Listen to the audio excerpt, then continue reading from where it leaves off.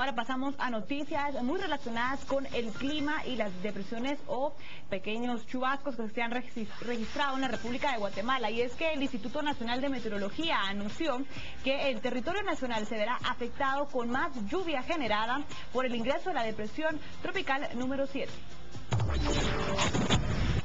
Si usted tiene planificado salir de viaje para el feriado del 15 de agosto, es recomendable se prepare con accesorios para resguardarse de la lluvia, porque el INSIBUME pronostica que el territorio guatemalteco se verá afectado por la depresión tropical 7 que se encuentra en el Mar Caribe y causará lluvias en el territorio nacional. Esperamos que llueva en las tardes y noches eh, por ingreso de humedad del eh, Océano Pacífico.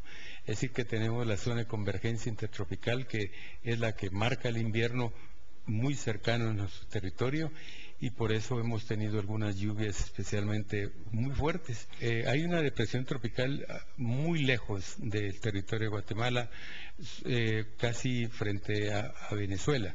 Era la depresión tropical 7, la cual eh, se ha degradado a ser un sistema de baja presión. Más sin embargo, mantenemos vigilancia sobre ella y de llegar a nuestro país debilitada, aún podría darnos algún problema, sería hasta el martes o miércoles.